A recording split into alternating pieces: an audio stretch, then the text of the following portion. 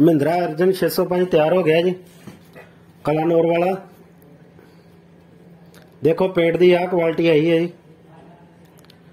ਟੂਕੇ quality ਚ paint ਹੋਇਆ stator ਨੂੰ। ਇਸ ਦੇ ਨਾਲ ਵਾਇਰਿੰਗ ਦਾ ਕੰਮ ਸ਼ੁਰੂ ਹੋ ਗਿਆ ਜੀ। ਇਹ origignal ਮਹਿੰਦਰਾ ਨੇ ਮਹਿੰਦਰਾ ਦੇ ਵਿੱਚ ਸਾਰਾ ਕੰਮ ਹੋ ਰਿਹਾ। ਵਾਇਰਿੰਗ ਦਾ ਵੀ।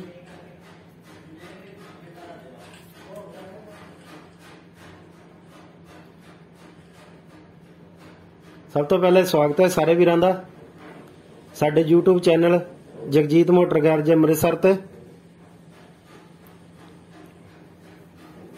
ਇਸ ਟਰੈਕਟਰ ਦੀਆਂ ਪਿਛਲੀ ਤਿਆਰੀ ਦੀਆਂ ਵੀਡੀਓ ਆਪਾਂ ਪਹਿਲੇ ਦੇਖ ਚੁੱਕੇ ਹਾਂ।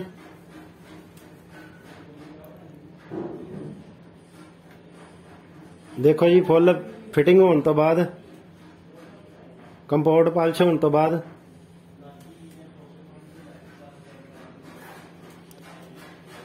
ਇਹ ਕੁਆਲਿਟੀ ਆਈ ਜੀ ਪੇਂਟ ਦੀ, ਸਾਰੇ ਦੀ। ਇਸ ਟਰੈਕਟਰ ਨੂੰ ਟੂਕਾ ਕੁਆਲਿਟੀ ਦੇ ਵਿੱਚ ਪੇਂਟ ਕੀਤਾ ਸਾਰੇ ਨੂੰ। ਪਾਵਰ ਸਟੀਅਰਿੰਗ ਹੋਇਆ ਟਰੈਕਟਰ।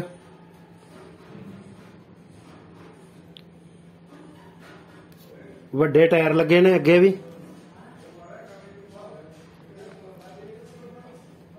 ਜਗਜੀਤ ਮੋਟਰ ਗੈਰਜ, ਚਾਚੇ ਦੀ workshop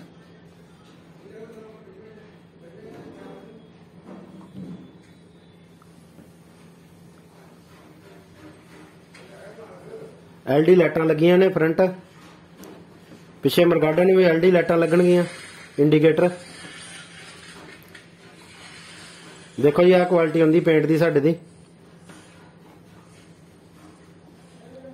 Mahindra Arjun 605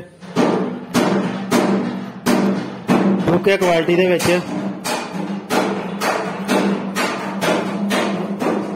rim black paint ਕੀਤੇ ਨੇ।